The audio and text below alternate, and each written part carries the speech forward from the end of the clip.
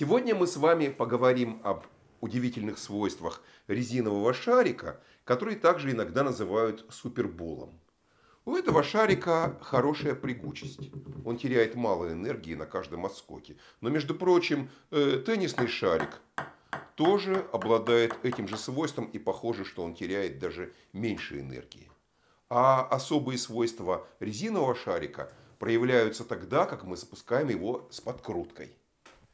Я сначала пущу теннисный шарик, я его закручу э, в направлении противоположном броску. Вот так. И шарик отскакивает назад, ну и прыгает дальше в противоположную сторону по отношению к исходному броску. А теперь я запущу резиновый шарик и посмотрим, что при этом получится. И мы видели, что он сделал прыжок. Вот я его пустил в эту сторону, прыжок назад, а потом прыжок снова в первоначальную сторону. Давайте повторим это еще раз. И у нас снова получилось то же самое. Ну и спрашивается, а в чем принципиальное отличие резинового шарика? Может быть дело в том, что у него гораздо больший коэффициент трения о стол, чем у пластмассового. Давайте попробуем с этим разобраться. Начнем с того, что рассмотрим отскок теннисного шарика. И здесь важно выбрать правильную модель. Деформации шарика при таком отскоке невелики, и мы можем считать его в нулевом приближении недеформируемым телом, а удар мгновенным.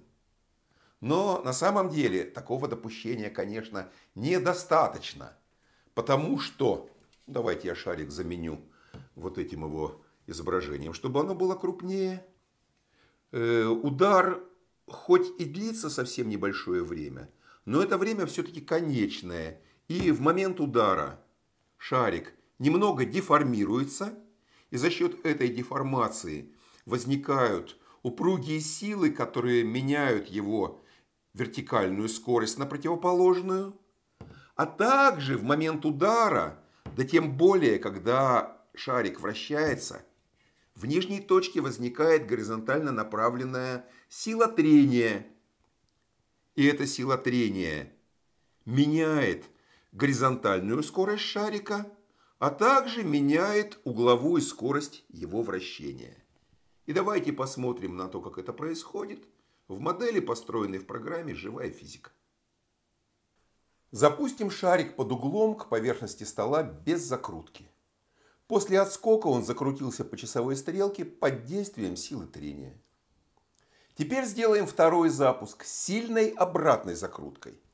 За счет силы трения шарик отлетает назад и при этом сохраняет свою обратную закрутку, хотя вращается медленнее. Попробуем теперь подобрать закрутку так, чтобы шарик отскочил вертикально вверх. И смотрите, в этом случае шарик после отскока не вращается вовсе.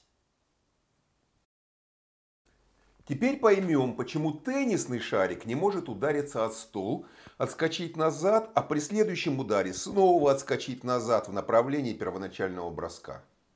В самом деле, чтобы сделать первый отскок назад, шарик должен иметь закрутку против часовой стрелки. Эта закрутка сохранится и после отскока, хотя он и будет вращаться медленнее. Но для следующего отскока назад ему нужно вращаться не против, а по часовой стрелке. А при вращении против часовой стрелки шарик и после отскока полетит не вправо, а влево.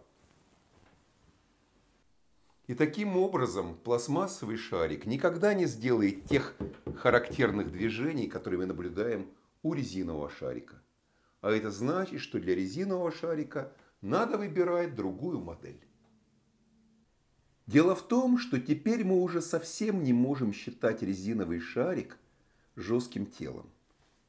Когда он летит под углом к столу, да еще и вращается, и соприкасается со столом, его нижняя точка немедленно зацепляется за стол и останавливается, хотя весь остальной шарик еще продолжает вращаться. И в этом смысле резина взводится, как пружина, накапливает энергию, а потом выстреливает назад, так что шарик может не только двигаться в противоположном направлении, но еще и вращаться в противоположную сторону. Мы, конечно, дошли только до качественной модели явления, Но именно она и позволяет написать дальнейшие формулы, если это будет нужно. Потому что мы знаем основную физику. Ну а теперь я хочу показать вам еще один опыт. Для него здесь установлены две вертикальных доски. И я сначала между ними кину шарик от пинг-понга. Ну, он остается там внутри.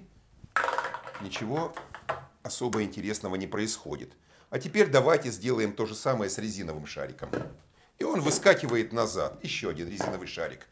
И он точно так же вылетает. Кинул не очень сильно, он не вылетел. Снова сильный бросок, и шарик вылетел назад. Ну а теперь давайте посмотрим на это явление еще раз в замедленной съемке. И вот после третьего отскока шарик вылетает в направлении почти противоположном первоначальному. Ну и в нашем заключительном вопросе мы попросим вас объяснить, что же здесь все-таки происходит. Ваши соображения на этот счет пишите в комментарии к этому ролику на YouTube.